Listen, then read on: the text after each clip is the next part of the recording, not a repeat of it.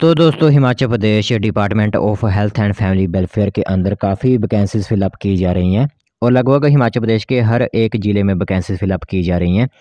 जिसके अंदर मैं आपको बताऊँगा कि कौन कौन से डिस्ट्रिक्ट ऐसे हैं जहाँ पर वैकेंसीज़ फिलअप की जा रही हैं। क्या लास्ट डेट रखी गई है? एक ही साथ मर्ज करके हम सभी डिस्ट्रिक्ट को लेकर आए हुए हैं, जिसकी भी इंफॉर्मेशन हमारे तक पहुँची है। और जिन डिस्ट्रिक्ट की इंफॉर्मेशन हमारे तक नहीं पहुँची हुई है, वो प्लीज़ ऑफलाइन माध्यम से अपने आसपास के जो भी मेडिकल लाइन्स या फिर हॉस्पिटल हैं, वहाँ पर संपर्क कर सकते हैं और उनसे पूछ सकते हैं कि वैकेंसीज़ आपके ज़िले में आउट की गई हैं या फिर नहीं की गई, ठीक है? तो पूरी इन्फॉर्मेशन आपको बताई जाएगी और सभी को पता है कि department of health and family welfare के अंदर आपको आशा वर्कर के पदों पर भर्ती हो रही है, जो कि कैबिनेट में मंजूरी दी गई थी, लगभग सात सौ अस्सी पदों पर भर्ती हो, आपकी होगी पूरे हिमाचल प्रदेश में। तो वो पूरी डिटेल आपको बताई जाएगी और लगभग आपके हिमाचल प्रदेश के हर एक ज़िले में ही वैकेंसी फिलअप की जाएँगी। ऐसा हो सकता है कि हमारे पास नोटिफिकेशन ना पहुँचे बट आपको ऑफलाइन माध्यम से अपने हॉस्पिटल या फिर अपने आसपास के ग्राम पंचायत में इसकी नोटिफिकेशन ले लेनी है, ठीक है? तो चलिए फिर आज वाला जो अपडेट आया हुआ है, वो बताते हैं कि किस किस ज़िले में वैकेंसी फिलअप की जा रही हैं। तो दोस्तों नोटिफिकेशन आप सभी के सामने है तो एक ही वीडियो में हम काफ़ी ज़्यादा अपडेट्स को एक ही साथ लेकर आए हुए हैं, जिसमें बताया जाएगा कि कहाँ कहाँ पर वैकेंसी फिलअप की जा रही हैं, जितनी भी इंफॉर्मेशन हमारे पास पहुँची है।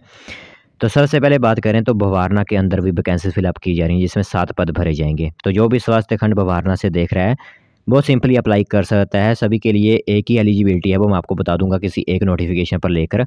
तो भवारना के लोगों के लिए 25 मई जो लास्ट डेट रखी गई है। लगभग मई महीने के लिए ही जो लास्ट डेट रखी गई है, चाहे वो किसी भी डिस्ट्रिक्ट से आप बिलोंग करते हो, हिमाचल प्रदेश के। मई महीना जो लास्ट डेट रखी गई है, चाहे वो बीस मई हो सकती है, पच्चीस या चौबीस मई हो सकती है। दूसरे नंबर पर मुख्य चिकित्सा अधिकारी कुल्लू जिला जिला कुल्लू में जो वैकेंसी फिलअप की जा रही हैं, जिसके अंदर आपका अन्नी बंजार, जारी नगर, निर्मंड बंजार, जारी वगैरह जो हो आपके इसी के अंदर आते हैं। तो सिंपल क्राइटेरिया है किस तरह अप्लाई करना है, यहीं से मैं आपको बता देता हूँ कि क्या क्या इसमें शर्तें रखी गई हैं। सबसे पहले शर्त यह है कि जिस वार्ड में आप अप्लाई करोगे, उसी के स्थायी निवासी होने चाहिए और सिर्फ़ महिलाएँ कैंडिडेट्स इसमें अप्लाई कर सकती हैं। मेल इसमें अप्लाई नहीं कर सकते हैं। एग्ज़ाम्पल के लिए अगर आप बंजार के लिए अप्लाई करोगे तो बंजार में ही आप स्थायी निवासी होने चाहिए उसी वार्ड नंबर के। दूसरे नंबर पर प्रार्थी की आजू यानी आजू जो है वो आपकी एज 25 से 45 वर्ष के मध्य होनी चाहिए। तीसरे नंबर पर किनको प्राथमिकताएँ दी जाएँगी? विवाहिता, विधवा, तलाकशुदा, महिला को यहाँ पर प्राथमिकताएँ दी जाएँगी। इसी के साथ ग्रामीण आशा के लिए एजुकेशन योग्यता कम से कम आठवीं पास एजुकेशन कितनी होनी चाहिए? या तो आठवीं पास या फिर दसवीं पास होना अनिवार्य किया गया है। मिनिमम मतलब आठवीं पास होना ही है, कोई पाँचवीं पास है वो अप्लाई नहीं कर पाएगा। आठवीं पास होना ज़रूरी रखा गया है इसमें और दसवीं पास जो मैक्सिमम रखी गई है। इसी के साथ वहीं की स्थानीय बोली आपसे है वो बोलने आनी चाहिए। बाकी सिंपल क्राइटेरिया है, आप एक वाइट शीट पर एप्लीकेशन लिखते हुए जो सिंपली अप्लाई कर सकते हो। और अपने अपने बार या जो भी जहाँ पर आपका ब्लॉक में मेडिकल ऑफिसर बंजार जो भी हैं, वहाँ पर आप सिंपली अप्लाई कर सकते हो। तीसरे नंबर पर यहाँ पर हमीरपुर की भी वैकेंसीज आउट की गई हैं। जहाँ पर आप देख सकते हो हमीरपुर के अंदर वेरियस वैकेंसीज हैं आपकी। जितने भी आपके ज़िले के अंदर खंड, स्वास्थ्य खंड हैं, वहाँ पर सभी वैकेंसीज फिलअप की जा रही हैं। इन सभी की लिंक नीचे डिस्क्रिप्शन में आपको मिल जाएगी। वहाँ से अपने अपने खंड की जो है वो आप देख सकते हो कि आपके बाढ़ में वैकेंसी फिलअप की जा रही हैं या फिर नहीं की जा रही हैं। तो सभी खंडों में एक एक, दो दो, तीन तीन वैकेंसीज फिलअप की जा रही हैं।